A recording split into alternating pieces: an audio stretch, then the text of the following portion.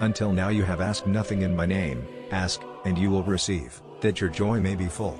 John 16:24. Jesus admonished his disciples, and all of us to always make our request to the Father through him.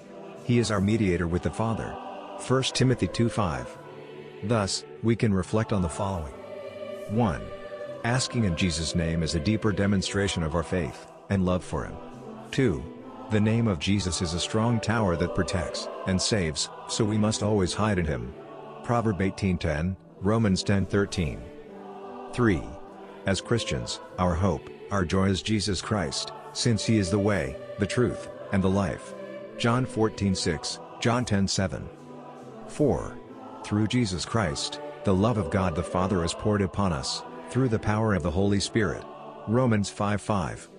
Therefore as Christians, we must always have it in mind that Jesus Christ is the only access way to his heavenly Father, so we must always go through him.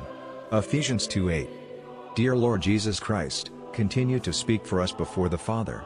Amen.